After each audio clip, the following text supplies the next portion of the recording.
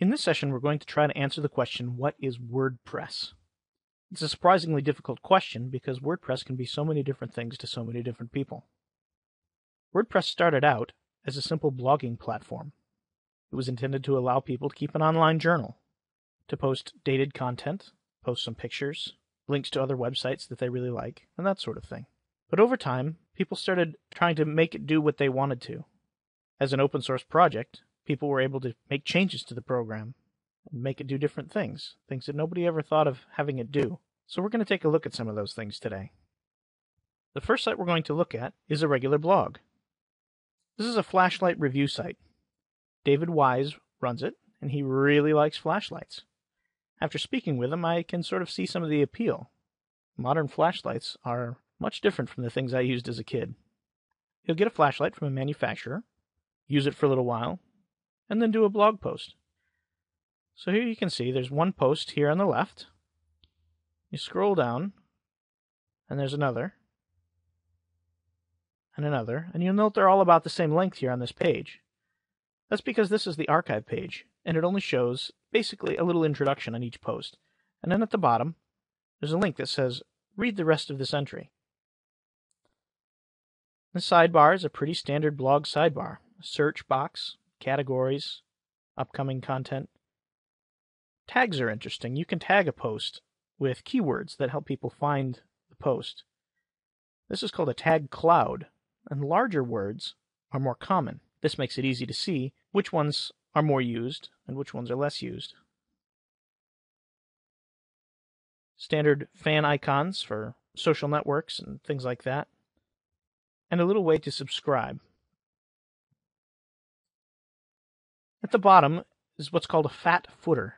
There's more stuff than in a normal footer. There's links, advertisements, more than just contact information. So this is a pretty standard blog. Posts with dated content, a few extra pages, not too much else. But people wanted more than a blog. They wanted to be able to manage pages better, and they wanted to have content that was different from just pages and posts. This site is for a landscaping company. They make high end pools and landscaping and things like that. The blog was secondary on this site.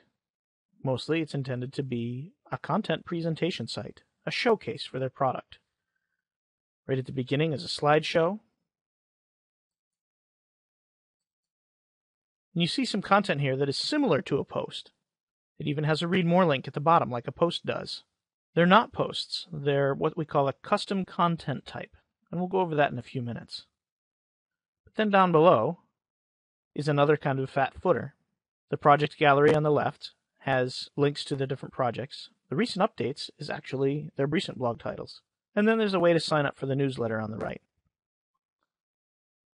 You can see from the navigation on this site that the blog is not the primary tool on this WordPress site. There's the portfolio, the About Us page, a links page, then there's the blog, and a testimonials page. Testimonials are another custom content type. They're similar to posts, but unlike a blog post, there's no date necessarily attached to it because it doesn't matter when they said it. It simply matters that they did. Let's move on to the next site. The Persecution Project deals with helping people groups that are being attacked, typically physically and violently. So this would be helping people in Rwanda, Southeast Asia, etc. The primary purpose of this particular site is to gather volunteers, and so this page asks people to self-identify themselves, leader or influencer, implementer, artist, connector, specialist, etc. These are custom content types, and we'll look at how those work now. Here at the top, there's a title, then a short description, a link, and a picture. If you click through, there's a page just for this. There's a larger picture, a larger content area, and there's a form here on the left for signing up to take part. In the administration area, on the left, there's an Active Options tab. This is not stock WordPress. This content type was created with a plugin. One of the large benefits of a custom content type is that you can add extra fields that aren't in WordPress.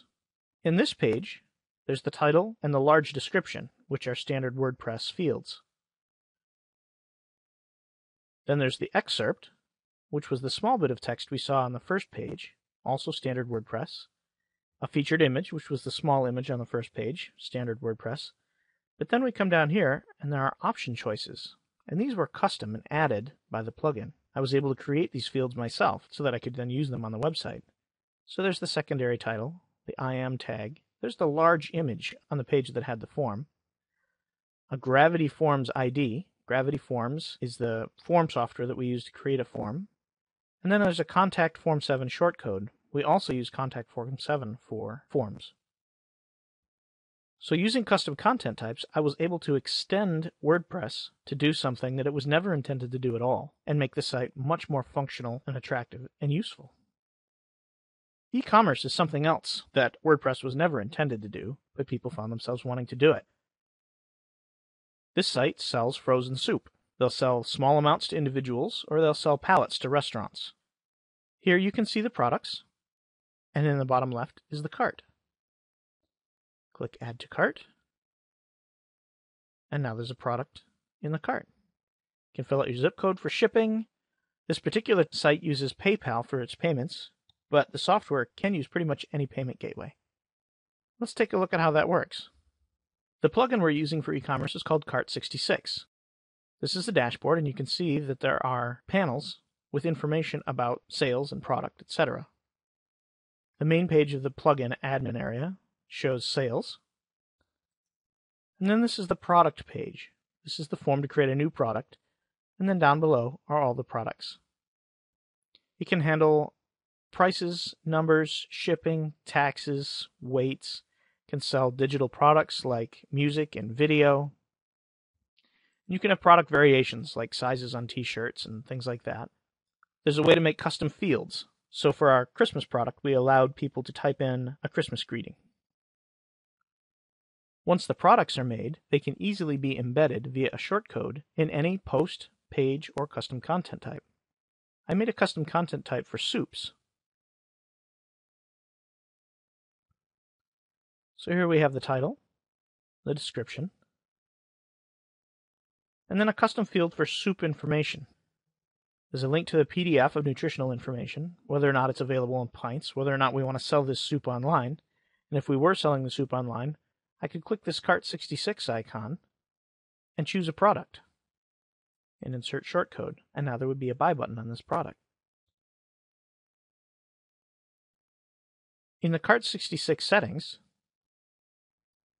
you can manage all kinds of things about how Cart66 works. Your cart and checkout settings, tax rates, PayPal settings, payment gateways, receipt settings, all that stuff. So it's an extremely powerful option. But there are many other e-commerce platforms for WordPress. There's an excellent one called Shopp. There's another called FoxyCart, and each one has different areas in which it excels. So if you're looking at e-commerce on WordPress, take a look at all of them and see what they do and how they work.